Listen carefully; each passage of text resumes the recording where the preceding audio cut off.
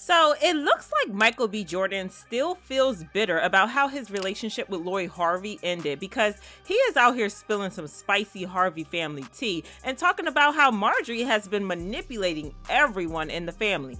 He's also bringing receipts, so y'all better get your teacups ready because this tea is piping hot. Y'all know how I said that Steve Harvey's family is in shambles? Yeah, well, things just got even wilder because Michael B. Jordan is now speaking on the messy situation in the family. And well, it looks like Marjorie wears the pants in the family and controls every single person, including Steve himself. I mean, is anyone even surprised? So, in case you somehow forgot it, but Michael B. Jordan used to date Marjorie's daughter, Lori, but the relationship ended last year. And even though neither of them spoke publicly about the breakup, it was clear that it was low key messy because they both kept throwing jabs at each other online. Lori posted this picture that said, dump him, and Michael shaded her on Saturday Night Live when he threw a mega shade at her. Presenting your musical guest for the evening, Drake and 21 Savage, performing a song off of one of the most relatable albums of all time her loss. But things took a different turn when Lori's parents started including themselves in the breakup drama,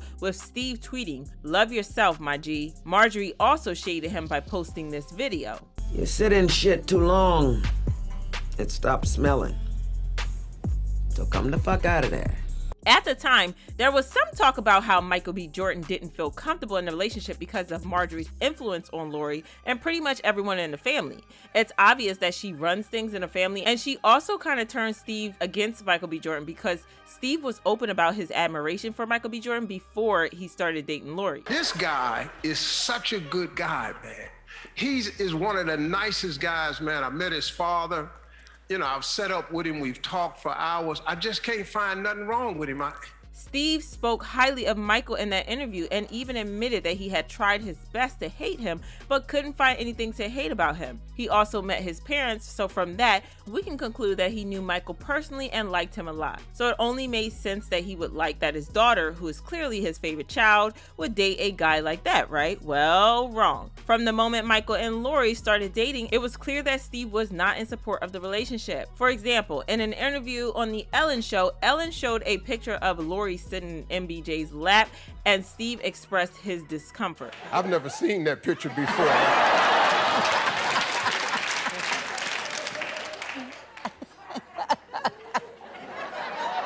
very uncomfortable with that picture right there. Then there's the time he was asked if he would support Lori and MBJ if they decided to get married, and he had this weird reaction. Lori and Michael have been dating for over a year now. If he were to ask to marry her, would you approve? I would have to say so far, um,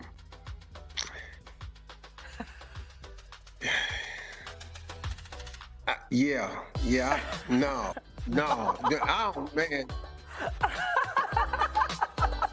this was hella weird because for one, Lori has been linked with some very questionable men in the past, like Future, who is the poster child of toxic men. She was also linked to Diddy, who has been accused of being on the DL for as long as Lori has been alive. And let's not forget, she was also linked to Diddy's son, Justin. But somehow, it's MBJ that he disapproves of? I mean, he was the most eligible guy she had dated, even though he really liked Michael B. Jordan from the start? Yeah, the math ain't mathing for me, and it looks like Marjorie might have had something to do with that because she was way too happy to talk bad about Michael B. Jordan. After relationship ended, it was kind of obvious that Marjorie was overly involved in the way that things went because her BFF, LisaRaye, revealed what happened and threw mega shade at MBJ on her podcast, Cocktails with Queens. I think that's bullshit that they said that she wasn't ready because when a person, when a woman finds a good one, then that's what you're looking for. I think the established relationship that Michael did have before this one, I think that maybe that social media that all of that was a lot for him. And I think that he, you know, I heard, I will say this, I heard about his ex and him was so serious that he may have missed her. But oh, we'll wow.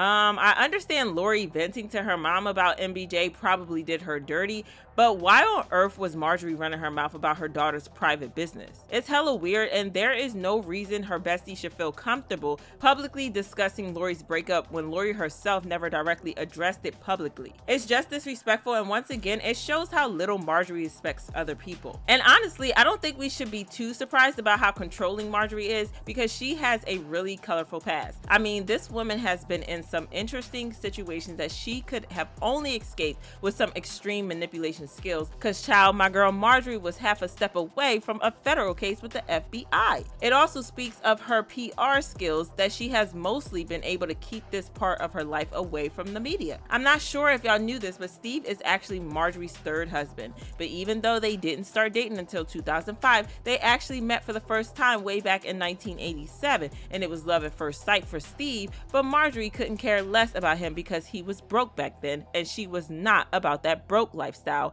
and wanted a man who already had his bag secured, so she did not give in to Steve's advances and she ended up marrying two different men before she and Steve reconnected in 2005. While that might not be a big deal, her first and second husbands were cousins, and if that's not wild, then I don't know what is. I guess she was trying to keep it in the family or something, but it gets even wilder than this. So her first husband's name was Jim Townsend, and he used to be a big time drug lord. I'm talking about the type of drugs that you don't want people to know you have. Nose candy, stuff like that. Anywho, he and Marjorie had a child together and she was pregnant with her second child when he got busted by the feds in 1992 when he was trying to score 40 kilos or 88 pounds of nose candy. At the time, both the FBI and DEA were suspicious of Marjorie and did not buy her claims that she was not involved in her husband's business.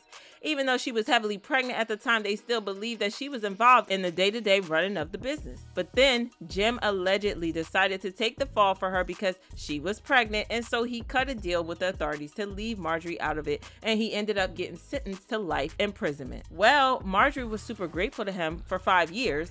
After five years, her gratitude ran out, and she ended up divorcing him while he was still in prison. It didn't take her a long time to find herself a new man, Donnell Woods, who allegedly was Jim's cousin. As if marrying two cousins is crazy enough, Donnell was also a drug dealer, and it kind of seems like Marjorie was only after the money because it's just insane that she got with another dealer after barely escaping being charged by the FBI and DEA. Anywho, her second husband also ended up getting busted, and again, Marjorie was under suspicion by the FBI and DEA, and honestly, I don't blame them. I mean, if someone got investigated for being married to a dealer and then immediately jumped into another marriage with another drug dealer, I would be hella suspicious as well. But Marjorie made use of her manipulation skills and she got off without any charges. Honestly, I don't think people give Marjorie enough credit for her manipulation skills because it's just crazy that she managed to escape not once, but twice, and then got married to a millionaire comedian who had been in love with her for 18 years, and also made him officially adopt all three of her kids and give them his last name so that they wouldn't be linked to their biological fathers and the shady businesses they were involved in. Not just that, but Steve started paying more attention to her own kids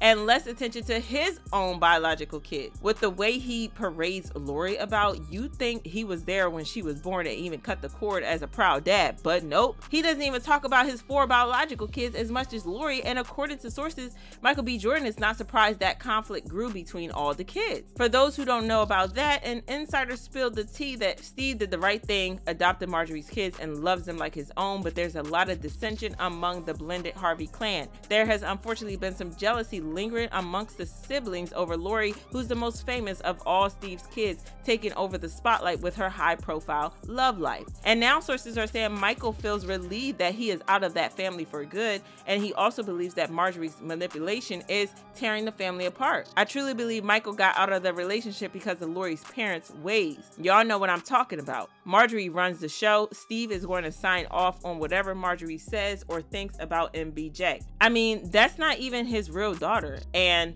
Everybody hype about Lori Harvey not realizing who her mama is. That lady married two kingpins that were brothers and currently married to Steve Harvey. Marjorie Harvey for sure taught Lori the game. But do you guys believe that Marjorie is really running the show? Or do you think that MBJ is being a bitter ex? Let me know what your opinions are. And if you think this is messy, just wait until you see the tea I spilled in the next video.